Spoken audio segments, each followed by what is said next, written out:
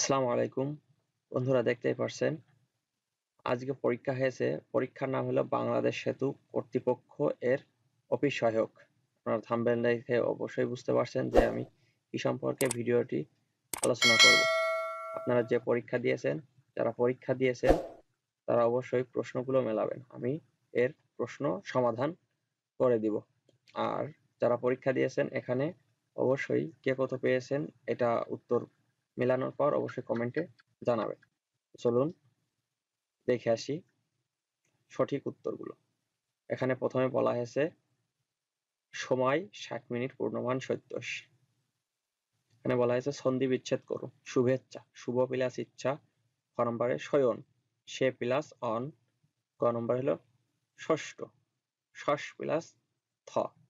ঘ নম্বরে বলা হয়েছে, সংস্কার, সম প্লাস কার। দুই নম্বরে বলা আছে বিপরীত শব্দ লেখুন। অসীম। অসীমের বিপরীত শব্দ হলো সসীম। ক নম্বরে বিশ্লেষণ, সংশ্লেষণ, বিশ্লেষণ। স্থির, চঞ্চল। ঘ নম্বরে হলো বিশ্রী, সুশ্রী। এক কথায় প্রকাশ। এক কথায় প্রকাশ বলা হয়েছে কি?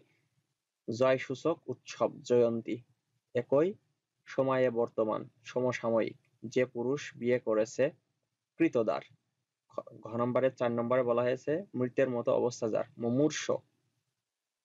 আপনারা সম্পূর্ণ ভালোভাবে মিলাবেন এবং দেখবেন কার কয়টা হলো।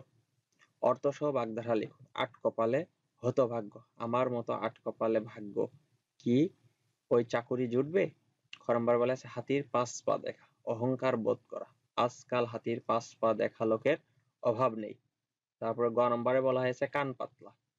সহজেই বিশ্বাস প্রবণ করিম এত কান পাতলা লোক যে পরের কথা শুনে বিনা কারণে উত্তেজিত হয়ে ওঠে। খ নম্বরে বলা হয়েছে ভিজে বিড়াল। কপটচারী। মনে করছিলাম শাহিন ভিজে বিড়াল, এখন দেখি তা না। পাঁচ নম্বরে বলা হয়েছে শুদ্ধ বানান লিখন, সমীচীন। সমীচীন এই জায়গা বানান ভুল। হলো দ্বন্দ্ব সব ময় দীর্ঘি, চয় দীর্ঘ দ্বন্দ্ব সমীচীন। চাকরিজীবী। চাকরি, বর্গ জয় দীর্ঘি, বয় দীর্ঘি। পুনর্মিলন। পুনর্মিলন হবে, কিন্তু এখানে দেখা আছে পুনর্মিলন। তারপরে হলো শ্রদ্ধাঞ্জলি। শ্রদ্ধাঞ্জলি বানান ভুল সঠিকটা পাশে দেওয়া আছে। ছয় নম্বর থেকে হলো ইংলিশ ইংলিশে বলা হয়েছে correct correct the sentence Quran is a holy book the Quran হবে। কারণ এখানে কোরআন হলো মহাগ্রন্থ। আর একটি নির্দিষ্ট করে বলা হয়েছে, তাই the Quran is holy book one should do his duty one থাকলে ওয়ান্স হয়। এখানে ওয়ানের পসেসিভ হবে। এখানে ওয়ান দিয়ে দেওয়া আছে, তাই হবে ওয়ান্স ডিউটি সি নাম্বার বলে আছে he gave me war wrong information he gave me wrong information এসটা হবে। তারপরে বলা হয়েছে he learns the poem by memory এখানে হবে he learns the poem by heart এই নাম্বার বলা হয়েছে does he has a house সঠিক হবে does he have a house has না কারণ এখানে ডাজ আছে এই জন্য হ্যাভ হবে। ফিল ইন দ্য গ্যাপস প্রথমে বলা হয়েছে dash I did not understand everything I enjoyed the lecture এখানে আছে, এখানে হবে হলো কি? Though though I did not understand hurry up dash you will be hate or hurry up or you will be hurt কারণ এখানে দুটোকে সংযোগ করা হয়েছে। Rahim is afraid afraid of হয় আফ্রাইড অফ মানে ভীতু ডগস রহিম কুকুর দেখে ভয় পায়। তারপর বলা হয়েছে his house is adjacent to adjacent to high preposition he was absorbed in absorbed in deep thought অনেক ইজি কোশ্চেন হয়েছে, আপনারা অনেকেই পারবেন, আশাবাদী। এবং কে কয়টা হয়েছে, কার কয়টা হয়েছে, অবশ্যই জানাবেন। আট নম্বর হলে কারেক্ট স্পেলিং এই যে ম্যাসকুলাই miscellaneous M I S C E L L A N E O U S তারপরে কি?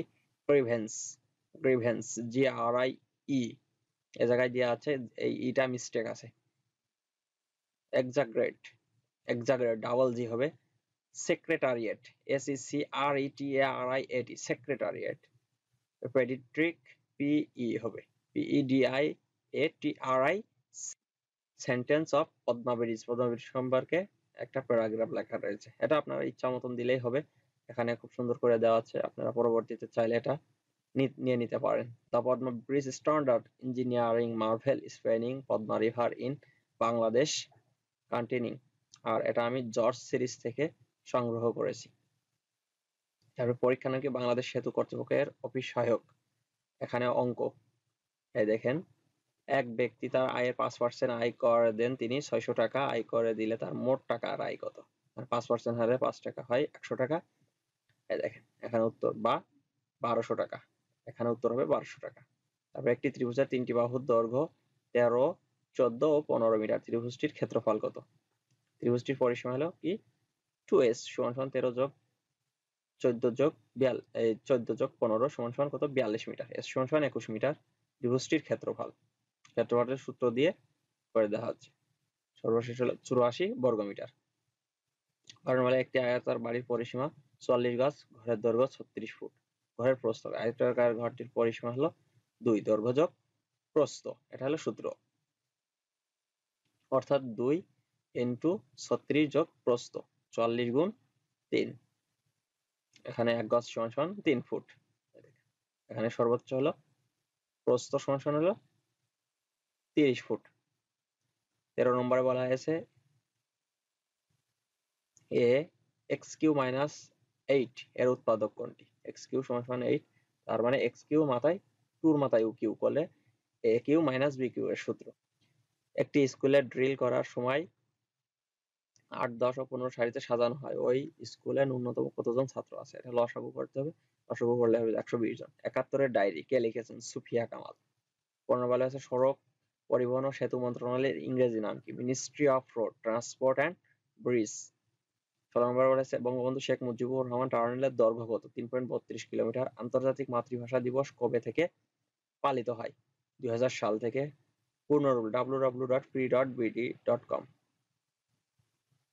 IDA, international development resistant, Asian association of south southeast Asian nation, OPEC, organisation of the petroleum exporting countries. Bangla নববর্ষের ছয়টি বাক্য লিখব মানে বাংলা নববর্ষ সম্পর্কে ছয়টি বাক্য দেওয়া আছে। পহেলা বৈশাখ চোদ্দ এপ্রিল বাংলা সনের প্রথম দিন। এই দিনটি বাংলাদেশের নববর্ষ হিসেবে পালিত হয়। পুরনো বছরের সমস্ত গ্লানি মুছে, ধুয়ে মুছে, জীর্ণ, ক্লান্ত, অবসারণ, অবসান ঘটি আত্মপ্রকাশ করে বাংলা নববর্ষ কৃষিকাজের সুবিধার্থে মুঘল সম্রাট আকবর আঠারো, পনেরোশো চুরাশি খ্রিস্টাব্দে বাংলা সন প্রবর্তন করেন। বাংলা নববর্ষ পালনে সূচনা হয় মূলত আকবর সময় থেকেই। নববর্ষকে উৎসমুখর করে তোলে বৈশাখী মেলা বা বাঙালির একটি সর্বসাধারণ সেতু, বাংলাদেশ সেতু কর্তৃপক্ষ এর অফিসকে বিস্তারিত আলোচনা প্রশ্ন হয়েছে। আপনারা এটা সুন্দর করে মিলাবেন আস্তে আস্তে, ধীরে সুস্থে।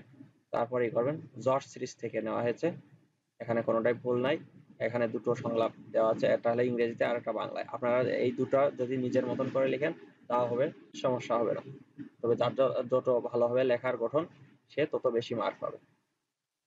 তো আবার নতুন কোন চাকরির পরীক্ষার নিয়োগ বিজ্ঞপ্তি বা পরীক্ষার প্রশ্ন সম্পর্কে জানতে চাইলে অবশ্যই কমেন্টে জানাবেন। আর কে কত পেয়েছেন সম্পূর্ণ মিলানোর পর অবশ্যই কমেন্টে জানাবেন।